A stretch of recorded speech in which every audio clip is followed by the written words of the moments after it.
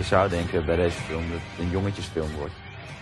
Maar als je die vrouwenrollen ziet, dan denk ik dat de vrouwen ook echt uh, gewoon uh, zo straks die bioscoop uitkomen.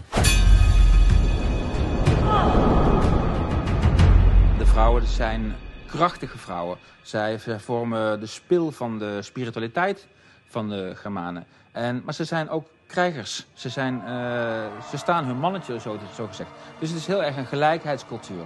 Ook dat aspect is weer iets heel moderns. Dat is iets heel erg Nederlands.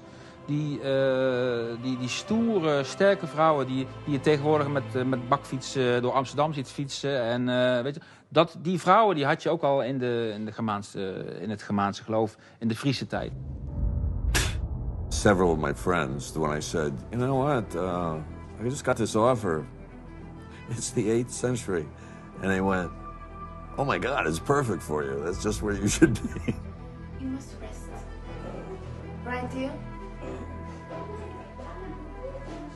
Leave him. Make sure he gets caught. Of course, Father. Why does this bother you so much? I keep having the feeling that he's working against me. Er we zaten er gewoon enorm met die filmtaal. Want ja, alles in het Nederlands, meerdere volken, lastig. Het komt uit de tijd dat er nog geen Nederlands was. Ook geen Fries overigens. Uh, ook geen Engels. Het was er gewoon allemaal niet. Uiteindelijk toch gekozen om alles wat niet Fries Nederlands is, om dat dan in Engels te doen. En dat gaf ons ook de mogelijkheid om gewoon een paar uh, sterren te, te attachen. En ja, dat, dat is een bijkomend voordeel. This is a good step, girl.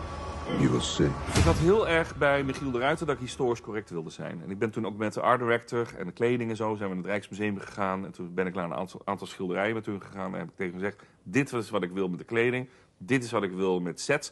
Voor mij was het ook zo, omdat dat is de enige werkelijkheid die we kennen van de 17e eeuw.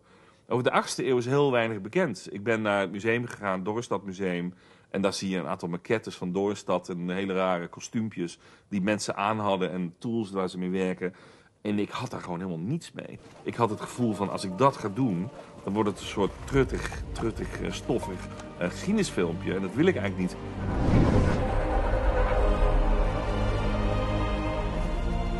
Ik wil wel uh, een film maken voor een modern publiek. En een modern publiek, die moet je met gave cinema om de oren slaan. Dus ik ben toen heel snel afgestapt van het realistisch. En toen ben ik eigenlijk met de art director en met kleding en styling... allemaal gaan brieven. Nee, het moet bigger than life, we moeten stileren. Het moet uh, um, een, een soort superwerkelijkheid worden. Dus pracht en praal shots, hardbewegende camera's, keihard licht. Uh, wat allemaal onrealistisch is. En, uh, en daar ben ik heel erg trots op. Ik denk dat dat heel erg geslaagd is.